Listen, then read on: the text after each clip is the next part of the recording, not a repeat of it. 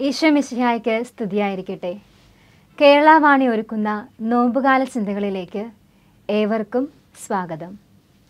സമാന്തര സുവിശേഷങ്ങളായ മത്തായി മർക്കൂസ് ലൂക്ക എന്നീ സുവിശേഷങ്ങളിൽ വിവിധ അധ്യായങ്ങളിൽ ഒരു വാക്കിൽ മാത്രം പ്രത്യക്ഷപ്പെട്ട് അപ്രത്യക്ഷനാകുന്ന ഒരു കഥാപാത്രമാണ് സൈറിൻകാരനായ ഷിമയോൻ ഇന്ന് നാം ധ്യാനിക്കുന്നത് മർക്കോസ് പതിനഞ്ച് ഇരുപത്തിയൊന്നിനെ അടിസ്ഥാനമാക്കിയാണ്.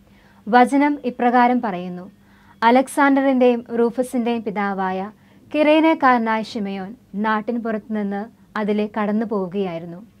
യേശുവിന്റെ കുരിശു ചുമക്കാൻ അവർ അവനെ നിർബന്ധിച്ചു. പ്രശസ്തനായ വില്യം ബാർക്ലയുടെ വിചിന്തനത്തിൽ നാം വായിക്കുന്നത് ഇപ്രകാരമാണ്. പൊതുവെ ഒരു വ്യക്തിയെ നാം പരിചയപ്പെടുത്തുന്നത് അയാളുടെ സ്ഥലപ്പേരോ പിതാവിന്റെ പേരോ മറ്റോ ഉപയോഗിച്ചാണ്. എന്നാൽ ഇവിടെ നമുക്ക് ശ്രദ്ധേയമാകുന്നത് വിശുദ്ധ മാർക്കോസ് ഷിമയോനെ പരിചയപ്പെടുത്തുന്നത് അദ്ദേഹത്തിന്റെ മക്കളെ സൂചിപ്പിച്ചുകൊണ്ടാണ് അലക്സാണ്ടറിന്റെയും റൂഫസിന്റെയും പിതാവ്. ഒരു പക്ഷേ ഈ അലക്സാണ്ടറും റൂഫസും എല്ലാവരുടെയും ഇടയിൽ അറിയപ്പെട്ടിരുന്ന വ്യക്തികൾ ആയിരുന്നിരിക്കണം. വിശുദ്ധ പൗലോസിന്റെ ശിഷ്യന്മാരിൽ ഒരുവനായ വിശുദ്ധ മാർക്കോസ് ഇവിടെ പേര് സൂചിപ്പിക്കുന്നത് പോലെ വിശുദ്ധ പൗലോസ് റോമാക്കാർക്ക് എഴുതിയ ലേഖനത്തിൽ ഇപ്രകാരം ഒരു വാക്യം പറഞ്ഞു വെക്കുന്നു. കർത്താവിൽ തിരഞ്ഞെടുക്കപ്പെട്ട റൂഫസിനും അവന്റെ അമ്മയ്ക്കും വന്ദനം പറയുവൻ. അവൾ എന്റെയും അമ്മയാണ്. സുവിശേഷ പണ്ഡിതന്മാർ ഈ രണ്ട് വാക്യങ്ങളെയും കോർത്തിണക്കി സൈറിൻകാരനായ ഷിമയോന്റെയും അദ്ദേഹത്തിന്റെ കുടുംബത്തെയും കുറിച്ചുള്ള പ്രതിപാദനമാണ് ഇതെന്ന് സാക്ഷ്യപ്പെടുത്തുന്നു. പെസഹ തിരുനാൾ ആഘോഷത്തിനായി കടന്നുവന്ന ഷിമയോൻ ഒരിക്കലും പ്രതീക്ഷിച്ചു കാണില്ല.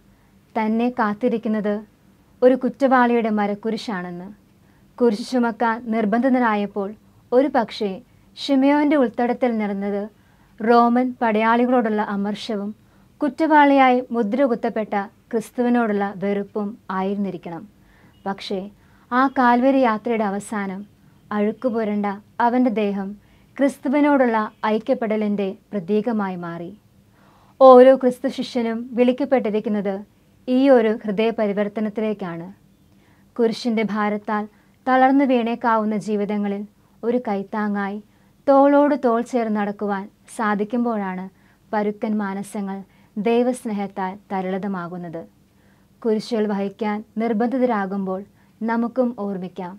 എന്റെ ഉള്ളിൽ ഒരു ഷിമയോനെ രൂപപ്പെടുത്തുവാനുള്ള അവസരമാണ് ഇതെന്ന്. ഷിമയോന്റെ പിന്നെയുള്ള ജീവിതത്തെക്കുറിച്ച് ചരിത്രം രേഖപ്പെടുത്തുന്നത് ഇപ്രകാരമാണ്. ക്രിസ്തുവിന്റെ സുവിശേഷവുമായി ഷിമയോൻ ഈജിപ്തിന്റെ നാനാഭാഗങ്ങളിൽ സഞ്ചരിക്കുകയും അവസാനം അവിടുത്തെ കുരിശിനെ പ്രതി രക്തസാക്ഷിയാവുകയും ചെയ്തു എന്നാണ്.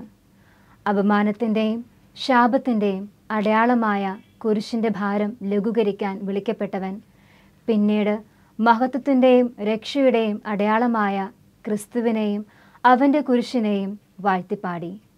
The shame led him to seek the saviour നമുക്കും ഈ നോമ്പുകാലത്ത് അപരന്റെ കുരിശിന്റെ ഭാരം ലഘൂകരിക്കുന്നവരാകാം. അങ്ങനെ രക്ഷകനെ കണ്ടെത്താം. ആമേൻ.